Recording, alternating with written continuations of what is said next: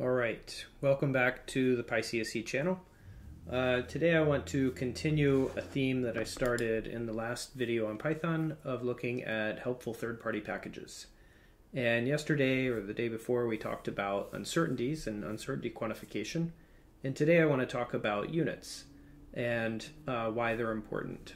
And so the, the cartoon here kind of illustrates why they're important. There was a famous, uh, famous case where the two teams were designing a rocket that was going to Mars, and one team used uh, the English system of units, so things like uh, force in pounds, and the other team used metric, where the force was in newtons. And they only had the numbers to look at, and so when they finally sent the rocket off, their units were not consistent, and so the, the rocket ended up crashing on Mars. So we'll take a look today at, at how we can try to avoid issues like that by incorporating units into our calculations.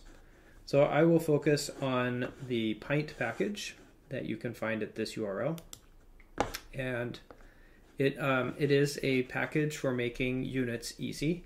And uh, obviously the person likes beer. This unit is a pint of beer.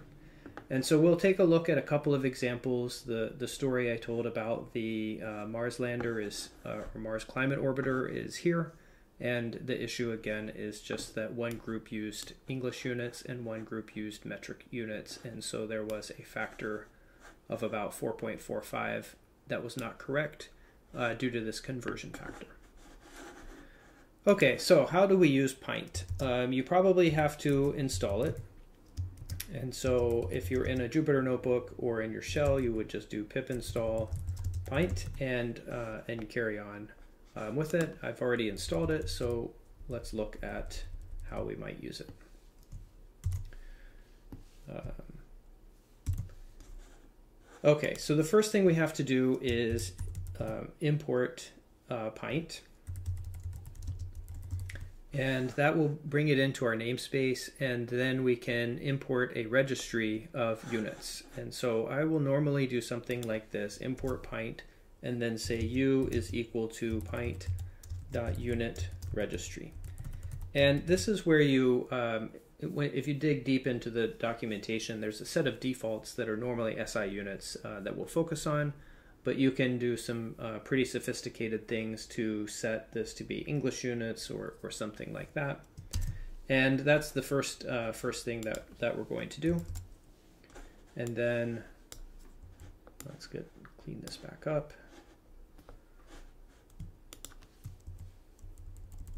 Then we are free to start making some units. So the typical way you'll define um, a unit is to multiply a number by, by a unit. So let's look at a few of the length units first. Um, we can say u.km, that would be a kilometer. And we can also write it out in longhand, u.kilometer. Um, we can say u.meter and u.millimeter. So all of these are understood by the pint package as units of length. And here you can see the kilometer. These are synonyms for each other, the meter, the millimeter. In general, we could put prefixes in there. We could make this a centimeter and so forth. And we can uh, immediately already do algebra with them. So if I say um, a u dot meter plus 1 dot uh, a u dot centimeter, then it will do the right thing. Uh, oh, I see. We have to do, make these numbers. 1 times a meter plus 1 times a centimeter um, should give us then 1.01 meters. So it's automatically done the unit conversion on centimeter so that it puts the right thing in here. Uh, or we could do 10, 10 millimeters and we would have the same thing. Okay, so that's uh, how we can do uh, regular algebra. We can um, have other units besides this. So let's suppose we want a time unit. Let's put uh, 10 hours here. Now this calculation doesn't make any sense and it gives us an error of dimensionality error um, here because you cannot add meters and hours. That doesn't, it just doesn't make sense. But you can uh, divide them. And so here we will see when you run this, you get 0.1 hours per um, 0.1 hour meters. Oh, let's um, Let's group these so that we get the units correct. and now we have meters per hour. So we have to group this so that it's not one meter divided by 10 times an hour. It is actually a meter divided by uh, 10 hours. That gives us this velocity of meter per hour. Um, there are all kinds of other other units. We have u dot liter, u dot cubic centimeter. That's equivalent to u dot centimeter cubed right? These are all different ways of writing the same thing, cubic centimeter, centimeter cubed. And you can do all the um, kinds of algebra with those that you want. And then there are many composite units like pressure. So we could have U dot pascals, um, U dot bars, U dot atmospheres, etc. And these are all composite uh, SI units that are comprised of, of those other ones. All right, so now uh, this is the, like the foundation of how to do it. Suppose um, we want to calculate um, a concentration. So let's say we have M is 2.3 uh, times U dot millimoles. So we have 2.3 millimoles, and suppose the volume was, um, let's say, uh, 10 cubic centimeters.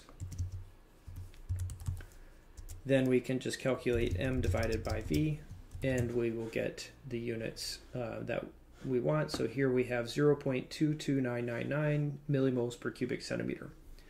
And that's not super, maybe those aren't the units that you want. Um, we can convert those.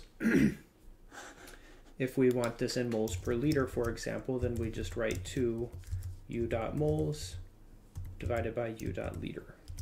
And that will convert it into 0.23 moles per liter.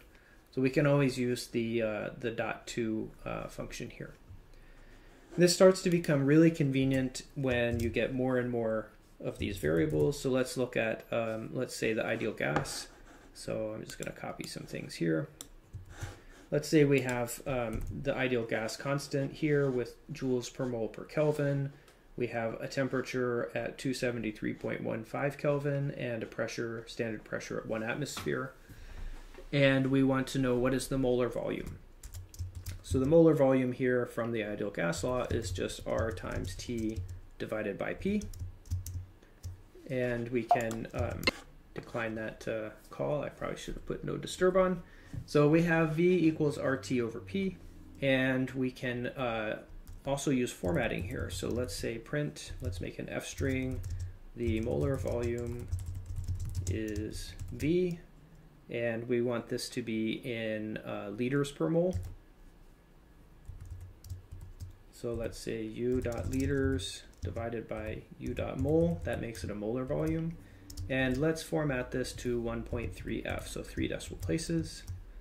And now we can run this and we get the molar volume is 22.414 liters per mole um, as, as you might recall from uh, physical chemistry.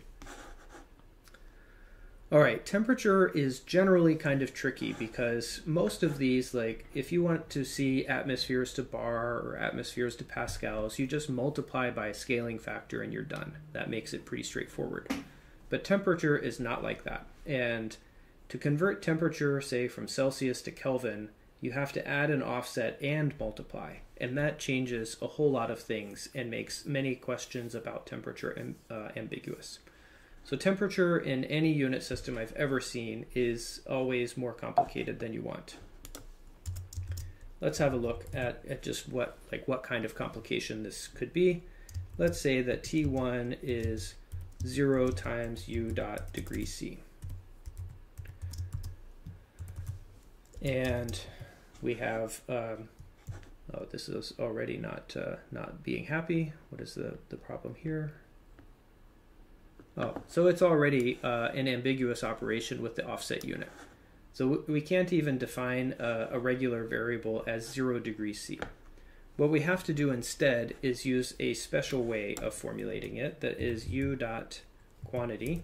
This is a, a constructor in the uncertainties package. Zero u dot degree C. And then this should print 0 degree Celsius.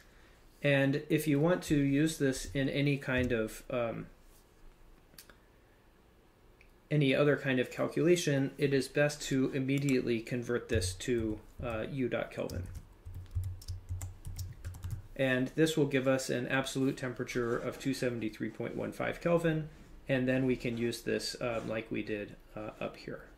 So, for example, this if we were to try this this calculation again, this one worked fine. But if I would just take uh, the u dot quantity in degree C and put it here, these should be equivalent, but it gives us an error. And the error is because Celsius is not an absolute temperature scale. And so the best thing you can do is just immediately convert it to absolute temperature. And temperature is the really the only one you have to worry about um, here. So if you have degrees C or degrees Fahrenheit, then you have to construct it this way. All right, let's see what other things could we um, talk about. We've talked about how it doesn't let you add incompatible units. It will combine units, so you're free to multiply and divide units. Um, let's talk about dimensionless uh, dimensionless numbers because we use those a lot, and we can leverage this uh, to figure out the same same kind of thing. So let me let me copy this over here again, and we have uh, from the pressure the gas constant, the temperature, this is the molar volume. We can calculate the compressibility, which is defined as P times V, and we divide that by R times T. And this is the compressibility, and it should be dimensionless. Um, and in this case, because it's an ideal gas law, it should also be 1. So let's have a look. What do we get? We kind of get some funny units and something that's actually not quite 1. So it's not quite one in these strange units of liter times standard atmosphere times uh, times joule. So this is not incorrect. Um, it's just not what you want. So if we take z and, and force it to reduced units, this is a, a method that uh, allows you to simplify these as much as possible. Then what we get is something that's very close to 1 and that it's dimensionless. So this this product up here is dimensionless, um, but in in the way it's written, uh, it is not, and that's why we see the the units here, uh, a the units here, and this magnitude not being one. So in this whatever this conglomerate is, uh, this is correct. But by the time you um, do all of the manipulations to get it to be dimensionless, we get down to here. All right, and the last thing that we'll look at here is uh, a couple of other ways you can test if something is dimensionless. So if we look at the units on Z, then we got we get these strange liter standard atmosphere slash joule. So this does not change the units; it just displays what it is in those. And we can um, add ask though if it is dimensionless. So there is an attribute on the units that will tell you if it's dimensionless or not. And so here you see even though it listed these strange units, they are in fact dimensionless. Um, all right, so we use these all the time just for um, maybe for one, one more example here, we'll talk about the, the Reynolds number. the Reynolds number is a collection of units. And so if we have the density, the velocity, the characteristic length, and the dynamic viscosity defined here with all of the units on them, this uh, Reynolds number is a known dimensionless quantity. And when we calculate it, we should be able to see that it is. And there's two things to note here. One is that when we first look at uh, at this, this is kind of confusing. So let's look at it uh, first. Here, again, you see 2 times uh, centimeter, kilogram, meter squared uh, like this. But in fact, if we ask, are the units dimensionless? Then you see that the answer is, is true. And so to get, to get the real dimensionless number, we have to add, look at the um, RE.2 reduced units. And there you see that we get a value of 0.02. So this is the magnitude of the Reynolds number that you would want to use in a calculation, probably not this one. Um, if you're only using the numbers. This number is correct with these units on it, um, but it's not correct if you take the units off. All right, so that is probably the most important, um, one of the more important things to remember. Um, there are a couple of caveats whenever you're you're handling units that you should be extra careful in. One is the temperature, and whether you're using an absolute temperature or a relative temperature. Uh, a, a second point is when you're using third-party packages. So so far I've only talked about algebra, regular algebra in this and it works great for regular algebra. But if you were to say, uh, look at what is uh, a function of those, then it, it, doesn't always work. So let's see, um, let's just see what happens. np, let's do np.exp of 5 times u dot meters. I would expect this gives me an error because the exp function expects a dimensionless argument and this has units, so uh, so it's not okay. Um, but if we put in RE here, then we get a, a number that is, you know, 1.02, which is uh, the same as, probably the same as np.exp of 0.02. It's close to zero. And it tells you that it's dimensionless.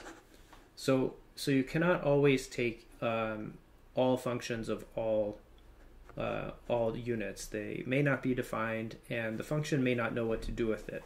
Something like fsolve or solve IVP will go through some Fortran program, and it may or may not know what to do with the units, and it may or may not use the right values, and it may or may not return the, the units for you. So you have to be really careful um, using units when you're doing calculations in those cases, it is always best if you make dimensionless equations where you don't have to worry about uh, the units anymore. You just have to make sure you get the right numbers in in the first place. All right, so that's it. that is uh, one one of the packages that, that is around. There is another one called uncertainties, uh, not uncertainties, quantities and it, it is also pretty good, but it doesn't handle temperature quite as well as pint, and so I decided I would just talk about pint um, because we use temperature in chemical engineering, and so a package that doesn't do temperature is not that practical for us. Um, and there is a nice integration of pint and uncertainties, that's why it's on my mind, where you can incorporate units and uncertainties, but I will use uh, talk about that maybe another day. All right, if this is helpful, uh, please like the, the video and subscribe to the channel. Tell your friends, and we'll see you next time.